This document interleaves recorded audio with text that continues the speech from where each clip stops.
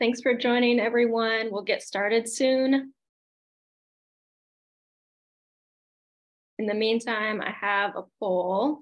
Um, so please let me know your answers and then we'll get started shortly.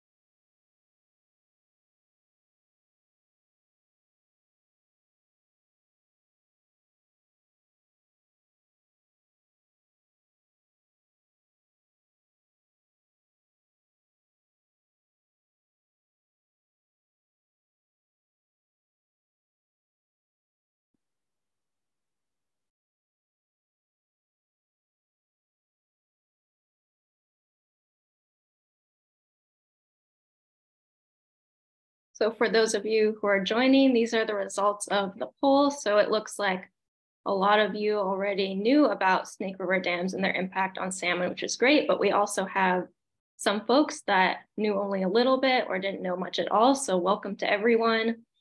Um, and then for the second question, how many species of Pacific salmon are there?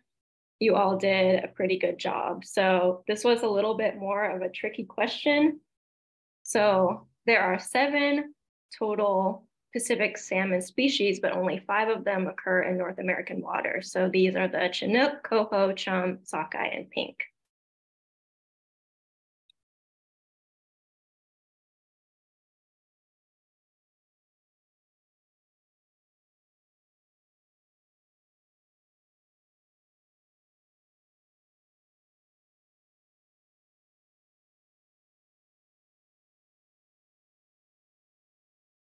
All right, it is 6.02. It looks like we have a lot of people on right now, so I'll go ahead and get started with my introduction. Thank you all for joining us today for the Snake River Salmon and the Race Against Extinction webcast. My name is Ali Fisher and I'll be your MC for tonight. I'm the Wildlife and Equity, Diversity and Inclusion Associate for Oregon Wild, and I'm really honored to introduce our very special guest tonight.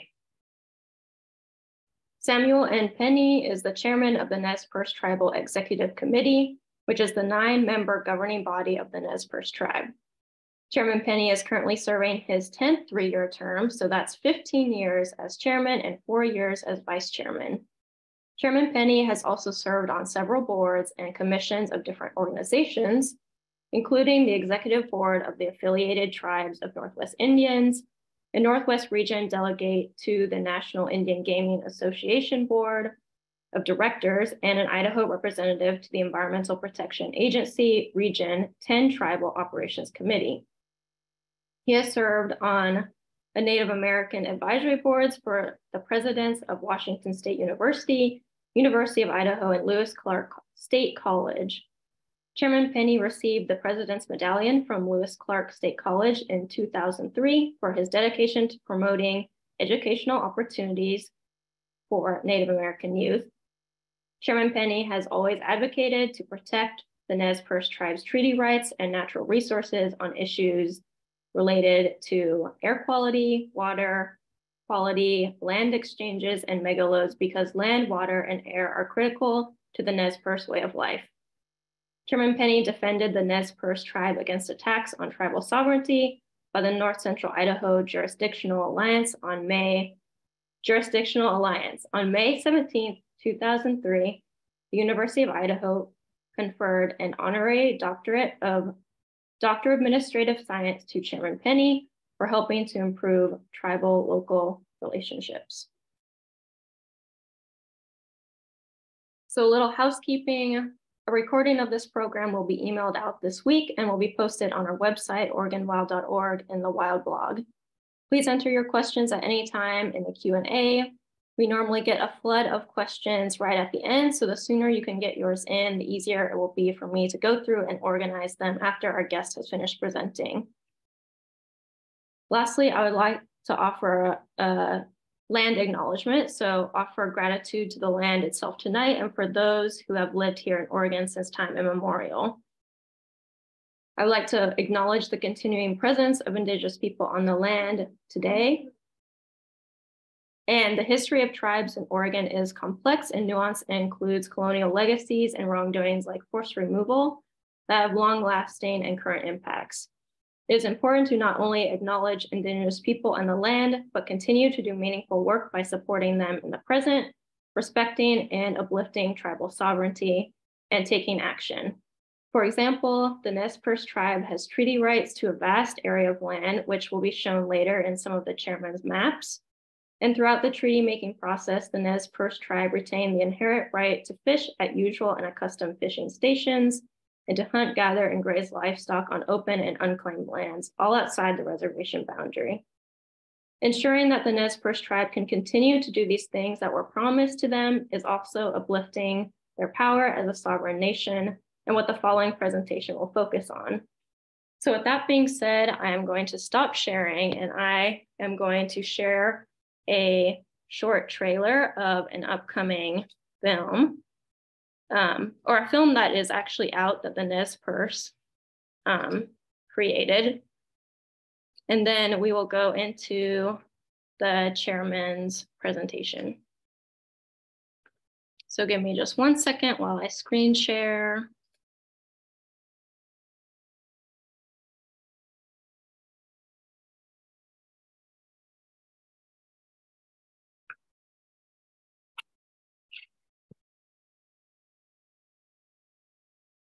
Kakum nukum suyapum timas. Kita malwat timanin kinki wataspa. No tia not so ochna. Kawako kika tichna patswinaisa. Salmon was the first one to step up and say, I will give myself to these people so that they can nourish their bodies. Genetically, salmon has imprinted on our DNA. This is our law that we are following to be on the same level as our food and not place ourselves above it. Here we are trying to hang on to our sacred ways, and our foods are diminishing. There's about 3,500, 4,000 tribal members, and we caught maybe a thousand fish. So, quarter of a fish per person, if you look at it that way. Fish runs have, have plummeted now we're only left with just a handful of places that have the numbers of salmon that we can still actually fish and continue that way of life. Tribal fishing now is been diminished to just a couple places that are fueled by hatcheries. Our returns have been dwindling since the dams have been put in. The dams really are the largest cause of man made mortality. 50% of the fish die. I have to say, you know, when is enough enough? We turn as many dials in salmon recovery that we're capable of doing. The Nez Perce tribe does the most amount of restoration work of any other agency. There are fewer than 50 fish on the spawning grounds in the best habitat in the United States for these fish.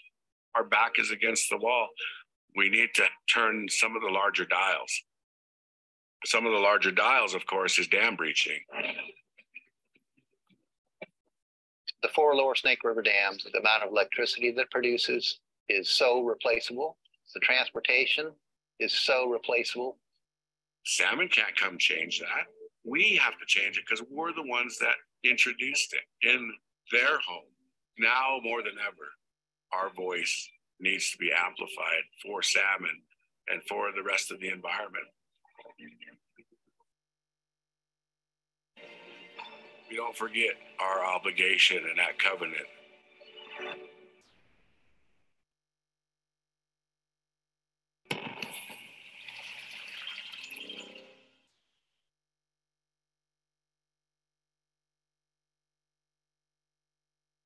All right, with that powerful introduction, I'm going to turn it over to Chairman Penney of the Nez Perce Tribe.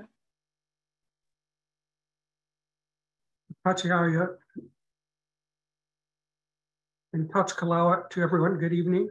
Uh, my name is Sam Penney. I'm chairman of Nez Perce Tribe Executive Committee, which is the nine-member governing body of Nez Perce Tribe. I'm currently serving my 10th three-year term on executive committee and 15 years as chairman. So I just want to share this first slide with you for those who are not familiar on where the Nez Perce Reservation is located. And you can see in the map of Idaho, uh, right about in the middle, about halfway up, you see the Nez Perce Reservation. And usually they refer to this area as North Central Idaho. And you can also see you know, some of the other reservations within, within the Washington, Oregon, uh, Montana area. So we've been working a lot with at least uh, 15 tribes in the Northwest regarding fish recovery. But I just want to show you this map to give you an idea where the Nez tribe uh, 1863 boundary is in our reservation and in relation to other tribes in the Columbia River system. So with that, I'll, I'll go ahead and uh, begin my comments. So you know, since time immemorial, the Nez Perce tribe has occupied, you can go to the next slide, I'm sorry. So since time immemorial, the Nez Perce tribe has occupied and used over 13 million acres of land, now comprising north central Idaho, southeastern Washington, northeastern Oregon, and parts of Montana.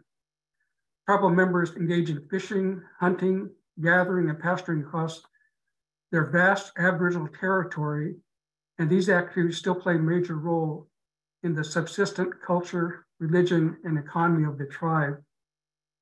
The Nez Perce tribe is a sovereign treaty signatory with the United States and co-manager of its treaty reserve resources across millions of acres in our, in our territory. In 1967, the Indian Claims Commission adjudicated 13 point million acres as Aboriginal homeland uh, based exclusively use and occupancy of the Nez Perce tribe. And tribes continued to pursue those rights within those areas. And I just wanted to point out in this map that you're viewing. So the, the innermost area is the blue area, that's the Treaty of 1863. And then the next line out is the, the red area, and that's the Treaty of 1855.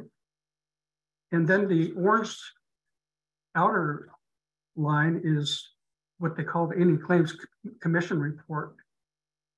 So you can see on the reduction of the 1855 reservation, uh, as you look at the map, the 1863 map, just east of the reservation you see how the straight line goes down.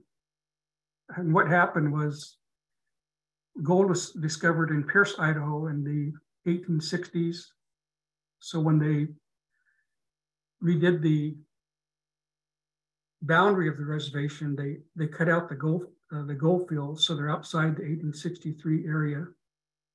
So many of our tribe members still refer to the 1863 treaty as a steal treaty because many of our leaders did not approve that treaty. But that just gives you an idea of the vast area that the tribe occupied. And on this map, you can see some of the, on the, the right side of the map, you see the dark green and light green areas. So those are the areas we're talking about where some of the best habitat fish for fish recovery that still exists. Some of that, a lot of that area is wilderness area, but there, there are prime uh, cold water streams throughout most of those areas. Also, I was recently at a, in Portland, Oregon, a couple weeks ago, and I was asked a question about the property that the, that the tribe, well, we don't refer to property, but our homelands within Northeast Oregon so when I mentioned the Indian Claims Commission report, so within the state of Oregon, the tribe ceded about 2.3 million acres within the state of Oregon. And then, uh, then the, we also own property within the 1855 boundary, own about 15,000 acres in, in Northeast Oregon. So you can, uh, you can go on to the next slide, please. So this is just a map that just showing you what the the various dams, eight dams on the main Columbia and the lower Snake River dams. But up in but up in the right hand corner, I think is what we think is important at the Perce tribe. It says, it says what is a smolt to adult return? They just call it SAR. SAR is a percentage of ocean-bound juvenile steelhead that return as adults to spawn in freshwater. SARs must be at least 2% for steelhead persistence. 4% SAR is the goal for healthy and harvestable populations. So as you look at that map, you can begin on the far, far left, you see number one is Bonneville Dam. Uh, number two is the Dalles Dam. Number three is the John Day Dam. Number four is the McNary Dam. So those are the dams on the main Columbia. Then when you get up to number five, that's the beginning, that's a confluence of the Columbia and Snake River. So number five is Ice Harbor Dam. Number six is Lower Monumental Dam. Uh, seven is Little Goose Dam. And eight is Lower Granite Dam. So I just wanted to show you those two slides so you'd have an idea of some of the areas that, that I'll be talking about.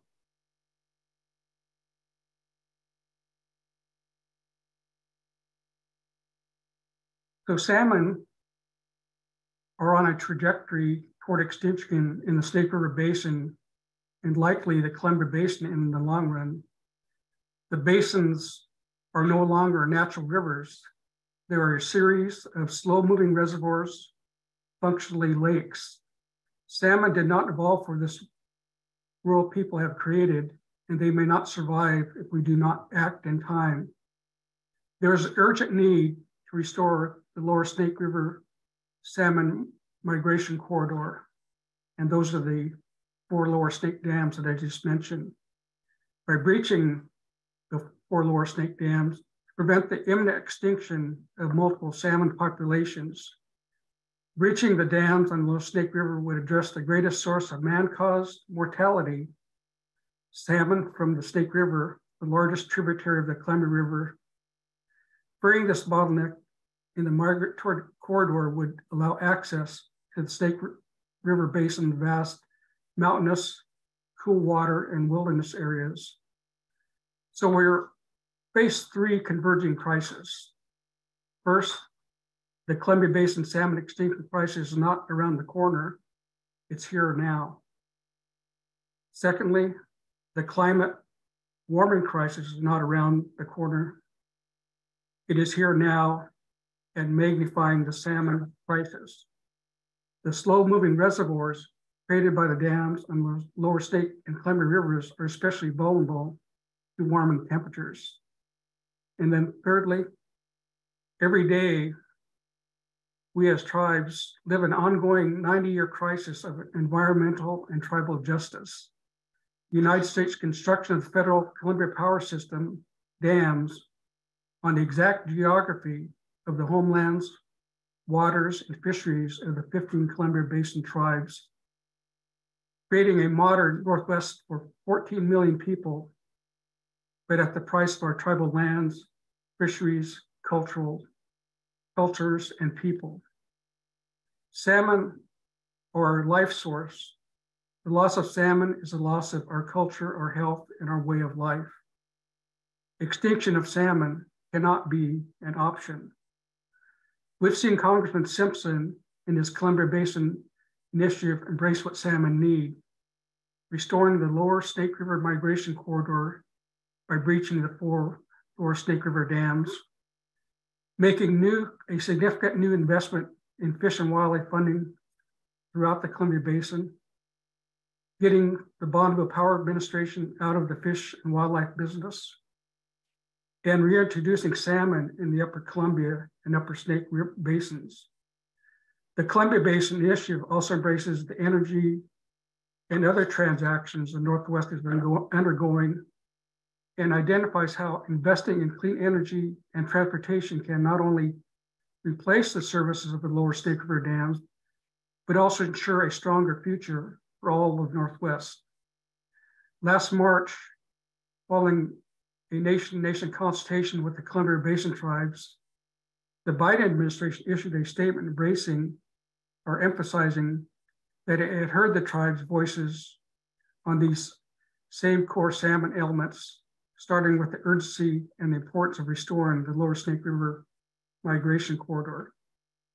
Last August, the Biden administration publicly announced its commitment to supporting development of a durable long-term strategy to restore salmon and other native fish populations to healthy and abundant levels, honoring federal commitments to tribal nations, delivering affordable and reliable clean power, and meeting the many resilience needs of stakeholders across the region.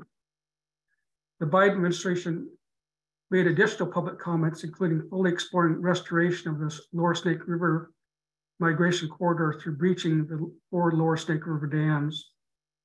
In September, Washington Senator Patty Murray and Governor Jay Inslee issued a report emphasizing that services of the Lower Snake River dams could be replaced and that they are determined to seize the opportunity presented by the Biden administration commitments to restoring salmon and to leverage the historic investments made in the Infrastructure Investment and Jobs Act and the Inflation Reduction Act or Climate Bill to support energy replacement, infrastructure enhancement, and salmon recovery and habitat res restoration.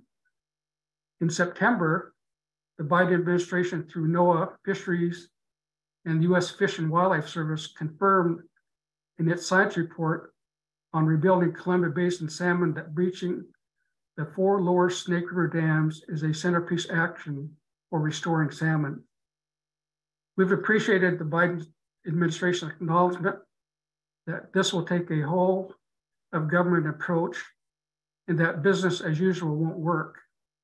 And we appreciate the direct engagement we've had with Assistant Secretary Connor at the Corps, Secretary Haaland at Interior, Secretary Granholm at Energy, Chair Mallory at the Council on Environmental Quality, and top officials at the Office of Management and Budget and the Department of Justice.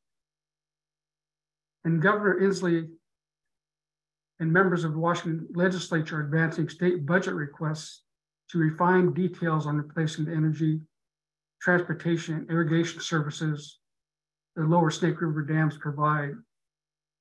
While all these represent progress, it's time for good words to be transformed into action.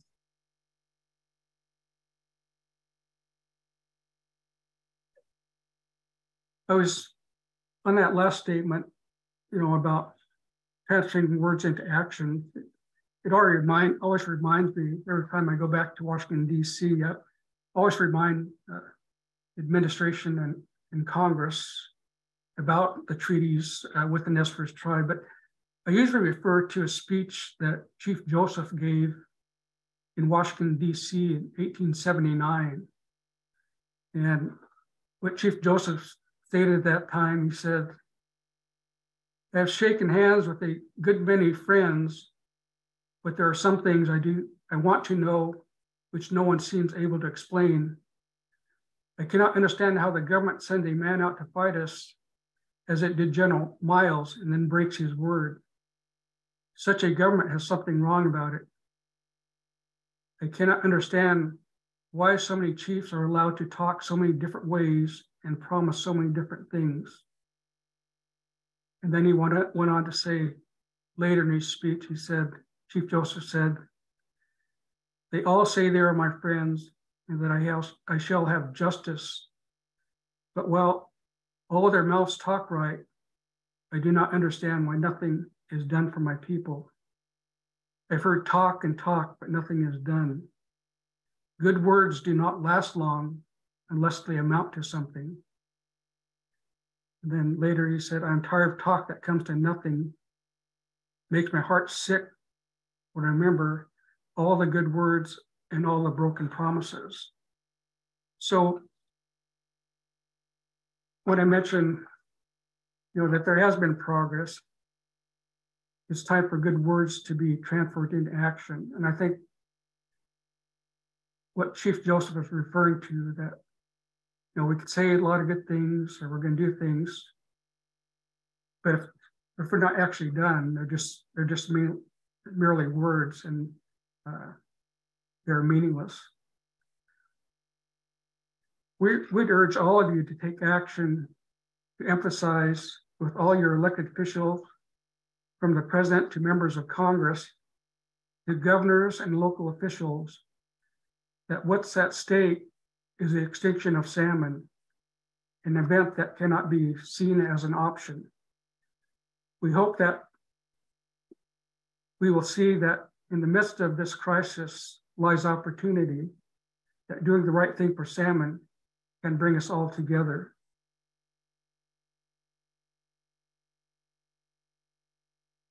And then back in 1999, the, the tribe had interviews with several elders, and they published a book in 1999. It's entitled uh, Salmon and His People. But there are three elders uh, that have since passed on. But when I read their what they said at the time, you know, really, really touched my heart on what what they said. So the first one by Allen Slickpoo Sr., and he was a historian historian for the tribe. He was a longtime member of the Nez Valley Executive Committee. But what Allen said at the time, he said, salmon fishing was considered to be a sacred symbol identified in religious ceremonies. The salmon was looked upon in the same manner as the harvesting of the first fruits, and thanks was given to the Henuat, the creator, for allowing the salmon to return. The coming of the salmon was a time of happiness because it meant that people had survived the winter. And then the next uh, statement was from uh, one of our elders named Horace Axtell. Some of you may know Horace, have known Horace. But what Horace said in 1999, he said, according to our religion, everything's based on nature. Anything that grows or lives, like plants and animals, is part of our religion. The most important element we have in our religion is water. At all the Nez Perce ceremonial feasts, the people drink water before and after they eat. The water is a purification of our bodies before we accept the gifts from the Creator. After the feast, we drink water to pur purify all the food we have consumed. The next important element in our religion is the fish, because fish come from water.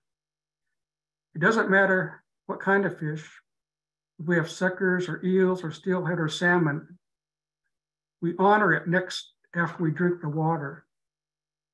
Then we name whatever fish we have, and then everyone takes a small bite before we eat the rest of the food. The next element is game meat like deer, elk, and moose.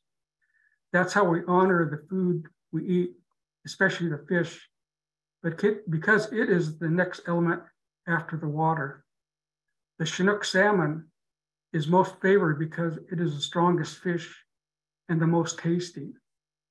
Chinook salmon is the fish we try to bring to the longhouse. And again, that was from uh, Elder Horace Axtell. Then the last one I wanted to share was from Elder, his name was Rod Wheeler.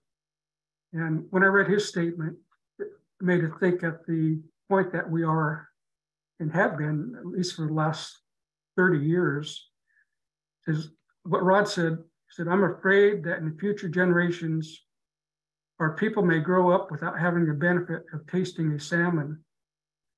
I'm afraid that is what is coming if man continues destroying natural resources at his present rate. So those are some of the thoughts I just wanted to you know, share with you. Uh, I don't know if you could go, if you could go to the next slide. So this will be, uh, I think, available to you, but you know, if you want to learn more about some of the things I spoke about, you can contact us by mail. You can visit our website, uh, www.nezperce.org, but we left the G off of there, I'm sorry. And then also follow us on other uh, social media platforms. And then in the bottom right is there's also a Salmon Orca a website that you can visit. So there are uh, many, many ways you can uh, find out more information.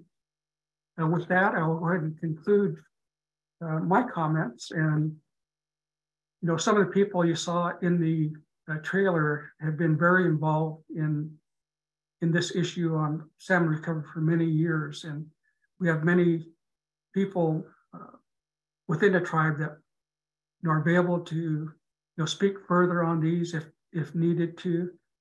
And one thing I forgot to mention on the, I think it was the, uh, the second slide was in our fisheries program is one of our biggest programs. So our main fisheries office is, is here at the tribal headquarters of Lapwai, Idaho. About 40 miles east is uh, the town of Orofino, Idaho. And we have a fisheries office there. And also just a note, that's where uh, there's two hatcheries there. The Nez tribe just took over management in June of the Dworshak National Fish Hatchery. Uh, right across the river is a Clearwater Anadromous Fish Hatchery that is run by the Idaho Department of Fish and Game. But just upstream from both those facilities is Dworshak Dam, which is located on the reservation. And that dam is, of course, it's, I think it is used for flood control. But one of the main purposes they use it for is to cool the lower the lower rivers and you know timing releases from Dworshak. Uh, that's I think that's their primary purpose is to release cold water because the the other reservoirs created by dams, it just the waters are just temperatures are just too warm. And then we also have a, a fisheries office uh, down in McCall, Idaho. And then we have a fisheries office located in Joseph, Oregon, where we do a lot of work in uh, Northeast Oregon. So there's one other thing I wanted to uh, mention before I or wanted to note that the tribe's been working on just recently. So I want to initially mention that the Nez Perce tribe has authorized a legal challenge for a recent unlawful, we believe is an unlawful revision of to the Oregon fish passage rule. We know and appreciate that there is an alignment on this issue with, with Oregon Wild. So in late December, the tribe learned uh, at the last minute with no public notice or revisions were made by the ODFW to Oregon's fish passage rule, which was done after a two-year public review process had concluded. The changes altered the court rule definition of fish passage, which has been defined as volitional passage for 17 years, to include trap and transport as an initial type of fish passage. The full set of changes affects core rule definitions and principles and procedures under the rule, all done without public notice or opportunity for comment. The tribe is treating this revised fish passage rule as unlawful and unlikely to be found unlawful in Oregon courts in the future if, OD, if ODF, ODFW does not reverse its action. Again, we know and appreciate that Oregon Wild has taken a similar position on this unlawful rule revision and want you to be aware of this common alignment with the Nez Perce tribe. So with that, uh, I'd like to conclude my comments. And again, I appreciate the invitation and for all of you joining us this evening. Katsuyaya, thank you.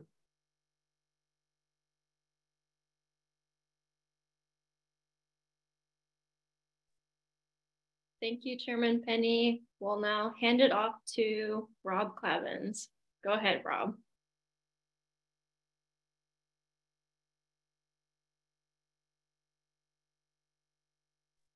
All right, can you see that picture? Yep, that looks great. Great. Well, thank you, Chair Penney. Uh, it is an honor to be able to host this presentation and, and be a part of it. Um, everybody on will be happy to know I'm going to keep it short so we can get to as many questions and answers as possible. But um, I did just want to share a little bit more about some of the things that we're working on here in the place that the Nimiipuu have called home since time immemorial. Um, oops, let me see if I can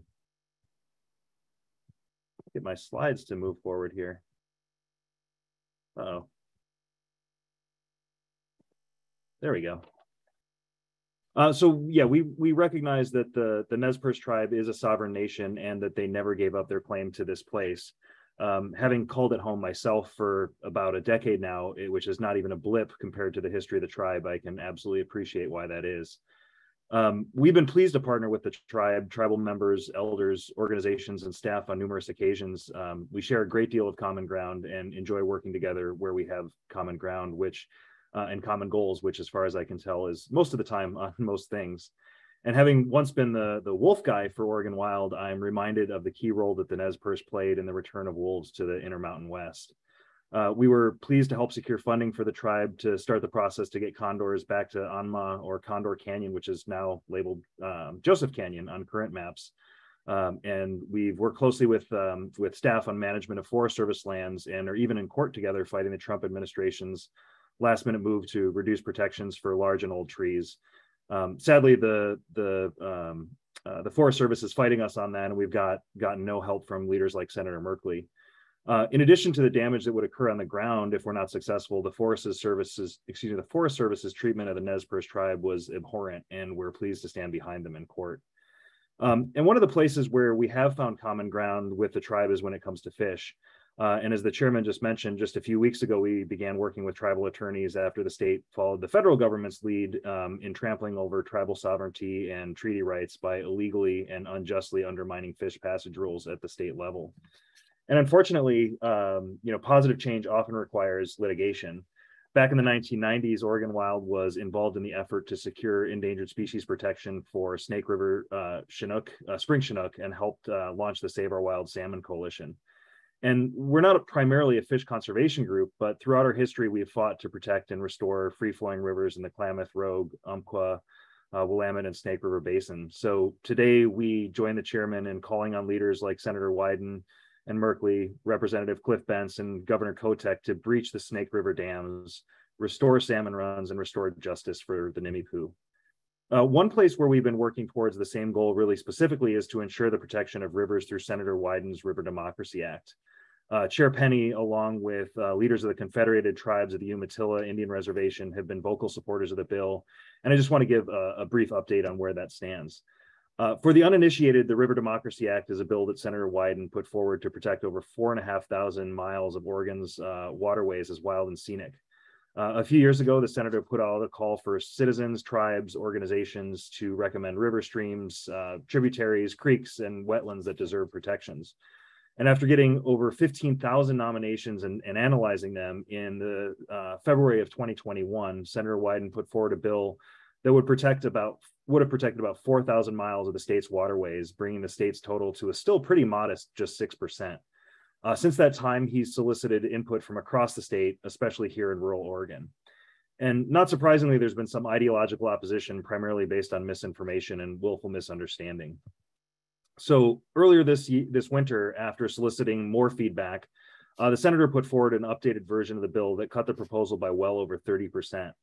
Uh, even with those cuts, the bill is still a historically important step in the right direction for conservation of fish, water, wildlife, and other important values. And we're continuing to work with the tribe and other allies to convince the senator to add some of those waterways back in, including some here in Northeastern Oregon. Uh, for better and for worse, uh, wild and scenic river protections fall far short of wilderness. Uh, unless you want to build a new ice harbor or a Bonneville Dam, they don't affect private property rights. Uh, it doesn't prohibit logging, grazing, uh, irrigation, firefighting, recreation, or any number of other activities. What a wild and scenic river uh, designation does do is identify outstandingly remarkable values of a waterway. Uh, those could be things like clean water, fish habitat, or wildlife, cultural sites, rare plants, or scenery, and then ensure that the relevant agency uh, creates a plan to protect and enhance those values within a half mile. And amidst a worsening climate crisis, uh, increasing development, and the often overlooked biodiversity crisis, and quite frankly, an overdue need to right historic wrongs, uh, we need to do a whole lot more than this. But along with breaching the dams, this is a st big step in the right direction, uh, which is why the River Democracy Act has gotten overwhelming support from thousands of citizens, hundreds of businesses, as well as organizations, landowners, tribes, and scientists. Uh, even where I live in Wallowa County, where the loudest voices make conservation uh, measures seem controversial, when we tried to compile all the statements of support from just the first year, it required creating a 65 page document to record them all. Uh, the bill received a positive hearing. It's been modified in response to feedback, and now it's in uh, it's waiting for reintroduction into the Senate. Um, there's no doubt that with the dysfunction in the House, it's going to be a challenge to pass anything uh, of consequence, but we believe that the bill can make progress and nobody's given up. Um, despite the significant cutbacks uh, that were based on their opposition, the industry and some local politicians, including Congressman Cliff Bentz, have continued to put out misinformation uh, and drum up opposition. So we're not taking anything for granted and need to continue to encourage Senator Wyden to pass the bill as soon as possible with as many deserving river miles as possible given limited time and I've already taken more than enough of it, I'm not going to make the usual case for why this part of the world is so special, but I will ask you to take my and, and the chair's word for it. And I want to encourage you to, to follow these efforts on the dams and, and the River Democracy Act. Uh, please find opportunities to speak up and, and to spread the word. Uh, write letters to the editor, go to town halls, reach out to Senators Wyden and Merkley, uh, encourage them to pass the River Democracy intact, the River Democracy Act intact and soon. Uh, and if you want to do something right now, you can go to this website, become a citizen co-sponsor of Senator Wyden's bill. If you've done it already, send it to a few friends. Um, we have to be sure to, to praise our senators for good actions like this bill, but we also can't let them off the hook when it comes to protecting our forest and recovering Snake River salmon. Uh, time is too short and the stakes are just too high. Um, as Senator Merkley, sorry, Senator Merkley has reminded us whenever he's asked about the dams, uh, it is complicated, it is hard, and it is expensive. Uh, but that's why we elected them. Uh, silence, sidestepping, and, and, delay from our leaders and just good work, uh, just good words, as the chairman mentioned, is not enough and it's not okay. Uh, we need to demand that our leaders earnestly and urgently engage in this work. Uh, they need to support the Nez Perce tribe and all the people and other living things that depend on salmon and bugs and wildlife, wildfires, plants, and all of the parts of a healthy, functioning uh, landscape.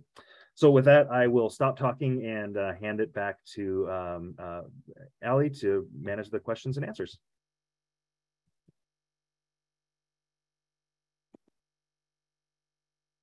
Thanks, Rob, and thank you, Chairman Penney. So now, as Rob said, we are going to start the Q&A section of this presentation. There are a lot of questions, so I'm just going to try to get to as many of them as possible. So starting off, um, and Chairman Penney and Rob, feel free to put on your video if you'd like. Um, so the first question is, this is for Chairman Penney. So could you speak about the Wallowa Lake Dam? For instance, is anyone raising money to put a pipe into the lake for Sockeye Passage rather than trucking them around, which is the current proposal due to lack of funding? Yeah, so our Department of Fisheries Resource Management and also our Office of Legal Counsel here at the tribe have been working, you know, on the issue of the Wallowa Lake Dam and the restoration of sockeye back in, into that area. So, you know, we've uh, worked with uh, Oregon delegation. Uh, I believe there's some funds that have been uh, proposed, you know, for that project uh, probably the very first time that I ever talked about uh, the Wallowa Lake Dam and that whole area was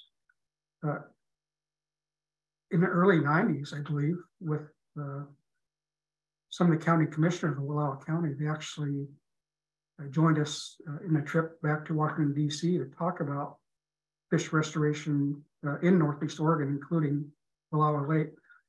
So our our teams here at the tribe are working on the issue of, of uh, Wallowa Lake Dam and Fish Passage and reintroduction in that area. So that's a very important uh, project for the tribe, and we look forward to you know working with with everyone that uh, in the area to make sure that you know, that that is completed because it, it is important not only for the tribe, but we think it'll be beneficial to the local area as well.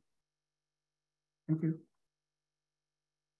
Great, thank you. Um, the next question that I have for you is, we have a lot of people interested in viewing the film or wondering if there's a link to the film. So if you could speak a little bit on that, that would be fantastic. Yeah, so the film hasn't been officially released yet. Uh, we're planning on doing that in the near future, and we'll we'll be sending out the the link uh, for that. Initially, it was going to be at uh, debuted at a at some film festivals, but uh, those those timelines have uh, since gone by.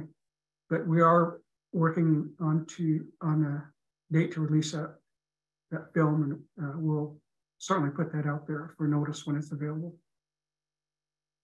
Yeah, so we got a sneak peek, which was great. Um, I, for one, am definitely super excited to see the film once it's released publicly.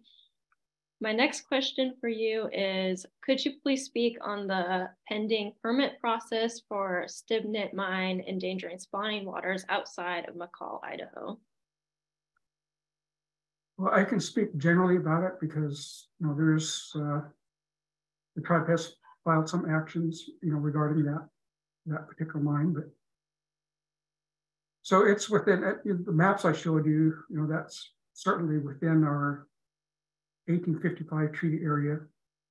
Um, many tribe members still go fishing down there in that area.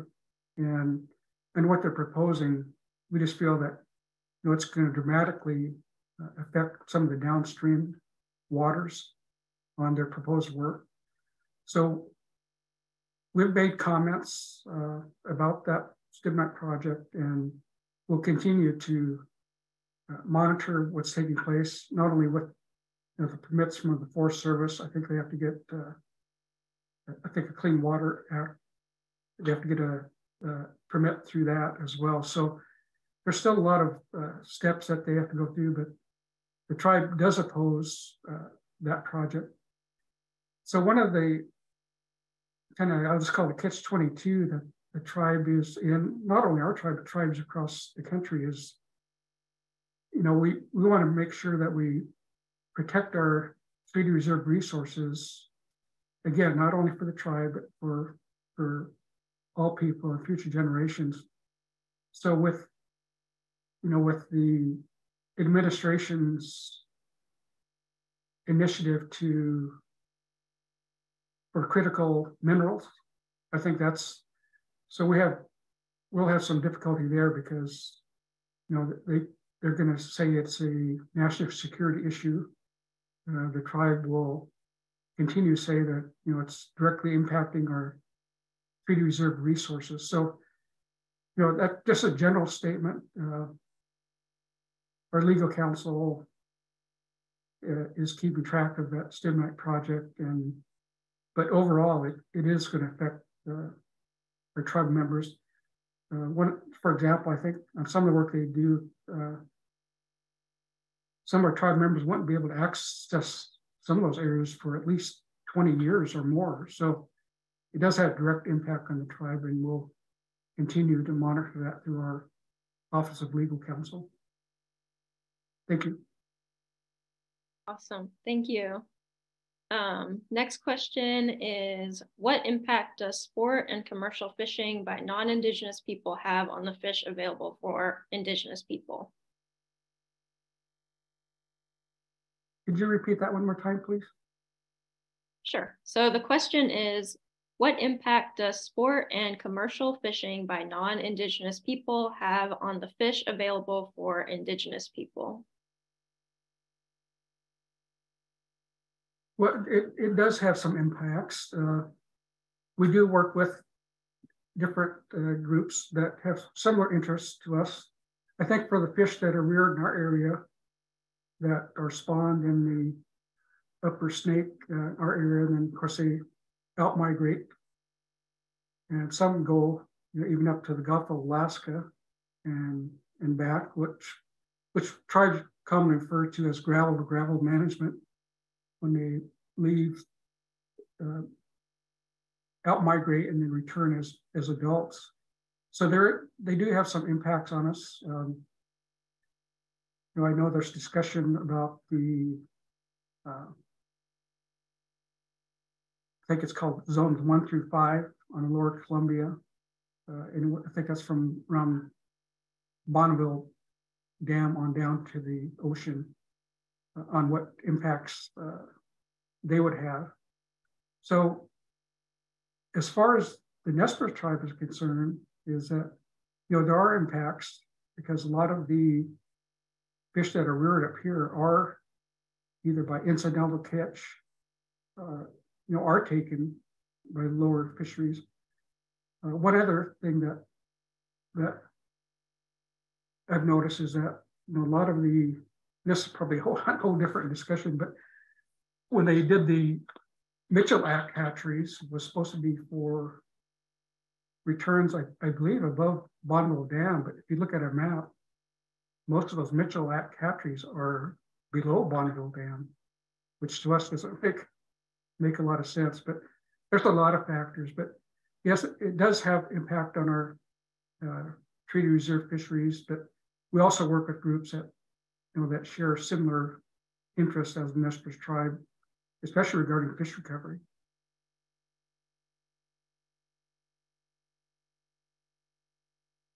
Great, thank you. Next question is, do treaty rights have any supremacy in the protection of salmon? Yeah, and that question, uh, we feel it does because first the definition of a treaty is a contract between two sovereigns. And they were actually, at the time, peace treaties between the tribe and the federal government. And then when you look at the US Constitution, uh, they have they have the Commerce Clause, and then they have Article Six, uh, the Supremacy Clause, and within that section it says that, that treaties are the supreme law of the land. So I find it quite interesting with the current makeup of the U.S. Supreme Court that you know they're, they're focusing a lot on, I guess the I'm trying to think of the term, plain language of the Constitution. To me, it couldn't be any more clear that the treaties are the supreme law of the land, and then often the sec the number two section of that uh, Article six is not often mentioned, but it says something like, you know, all judges, and all representatives are, are bound by author, oath or affirmation to support this Constitution, which, in our view, includes Article 6 and, and the treaties.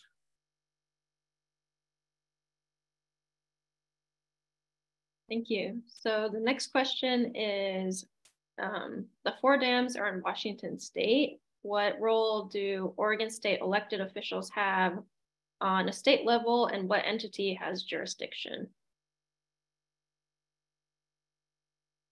So on the the lower Snake River dams, um, I think the important part is just an overall fish recovery because a lot of the fish that we rear up here, they are caught by Oregon fishermen uh, you know, along, especially along the main Columbia River.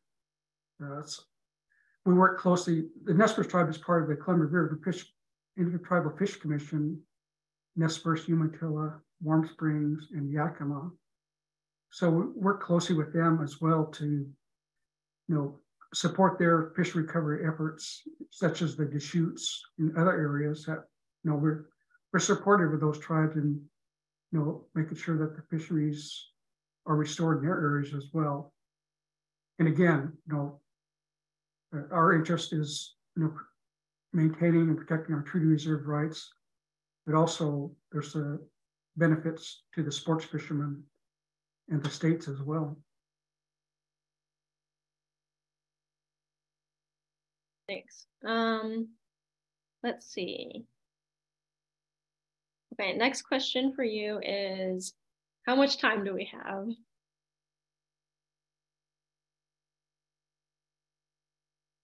For extinction or. Well, the Nez tribe, uh, you saw in the trailer, uh, David Johnson is our Department of Fisheries Resource uh, Manager. And our department has done extensive work, uh, you know, studying the, especially the uh, Lower Snake River dams and their impacts. And they've issued what's called a quasi-extinction report, which which shows that I think there are, think it was 50, 50 or less spawning in, in some of these areas of returning adults. So, you know, the extinction crisis is is here. Um, you know, under the ESA, and I think this is where the states would have interest as well. Is that you know, if it ever does come down to a conservation issue,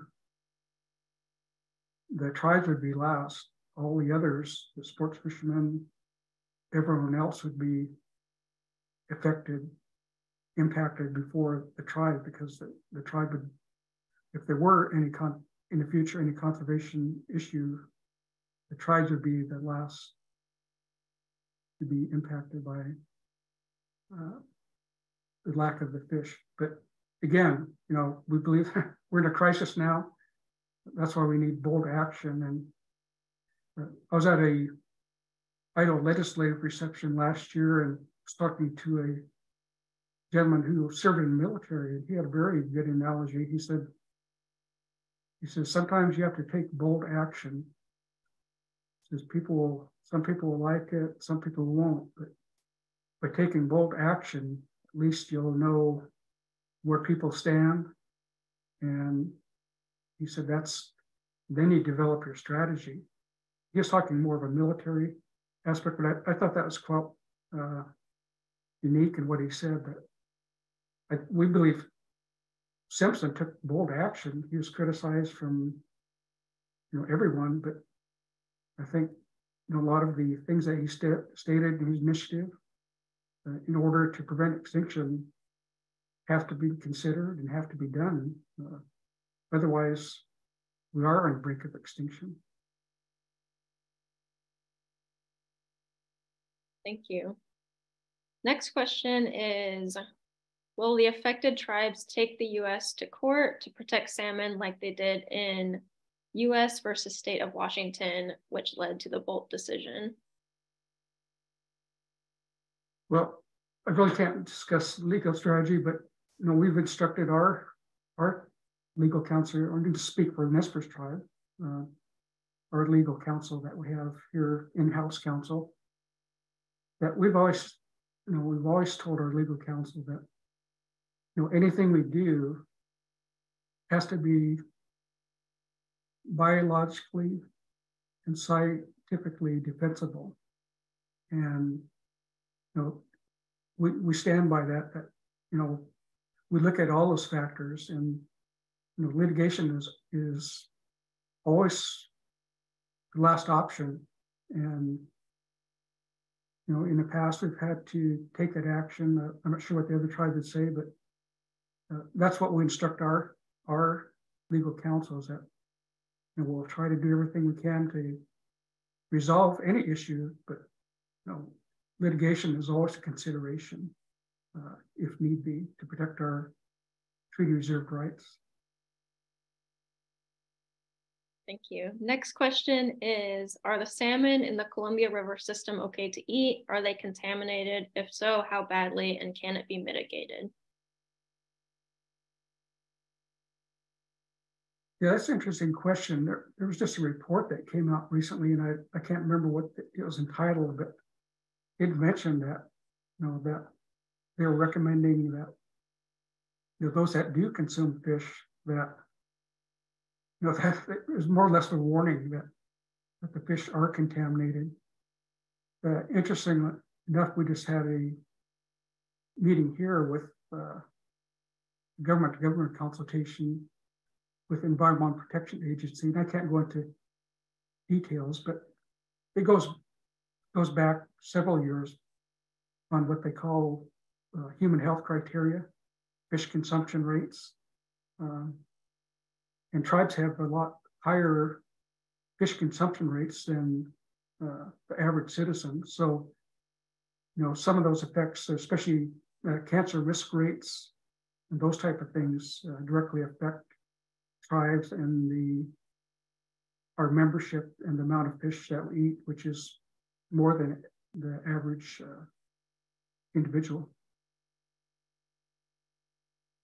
Thank you. Is it okay if I just sneak in two more questions? Sure. Okay. Um, we have so many. This is great. So the next question is, could you please indicate or speculate where the most promising venue is or will be to actually problem solve the issues and impacts to the various stakeholders of Snake River Dam removals? Well, for the Nez Perce or for the Northwest tribes, so we have what is called the affiliated tribe of the Northwest Indians, which are tribes from throughout the Northwest, uh, has adopted a resolution supporting salmon recovery as well as orca, because orcas are affected as well by salmon recovery. So the tribe are supportive, uh, Northwest have taken action.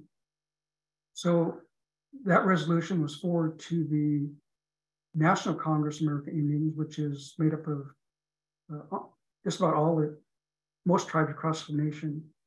They're located in Washington, D.C. They also adopted resolutions supporting uh, salmon recovery and uh, urging Congress, especially Congress, to take appropriate action. So, under the when we're talking about dam breaching, of course, that uh, you know, I think some of the federal agencies have certain authorities, uh, either at the, in, you know, in the region, but my understanding that, you know, dam breaching would have to be approved by Congress. And so we just need to continue to educate Congress uh, on issue and continually remind the United States government that they have a solemn obligation to uphold and honor the Treaty of 1855 with the Nez Perce tribe. So I didn't mention earlier, we have we have several treaties with the federal government, but also within those treaties, we just call it the saving clause. It just says, you know, all provisions of former treaties are still in force effect. So the hunting, fishing, gathering, pasturing rights are all still uh, valid and in, in effect for the Nez Perce tribe. Thank you. I have one last question for you, and it's a good one that a lot of people are asking, and it's what can we do to help? Well, as I mentioned earlier, I think you're working with your, course, your congressional delegations, your representatives and senators, and also your, you know, the state elected officials, you know, letting them know that that you're aware of this issue and that you know we are at a critical stage that action needs to be done. Uh, we often talk about status quo, and you know if we stay on the status quo, they're certainly going to go extinct. And uh, I think the status quo is not acceptable. I think the uh, salmon are an icon for the whole country, and especially in the Northwest, because you know a lot of people, especially tribal people, depend on those fisheries. So I think contacting your elected officials uh, about the issue, um, you know, writing them letters. Um, I'll be going back to Washington D.C. again next week. You know, we've got several meetings scheduled, and um, so I think that the best way is is to you know contact elected officials. I think on the slide that I mentioned earlier that if you want to learn more information about any of those issues, uh, you can go on the Nez Perce Tribe website and you can click on our Department of Fisheries Resource Management uh, uh, site, and you can see all the work that the, the tribe has been doing as far as fish recovery. So I think just that contact with elected officials, uh, with the administration and Congress and your elected state uh, officials, senators, representatives will will go a long way and at least educating them on issues. I think there, you know, may be misinformation or other scare tactics that are being put out there. So we also make sure that you know the truth is getting out. Um,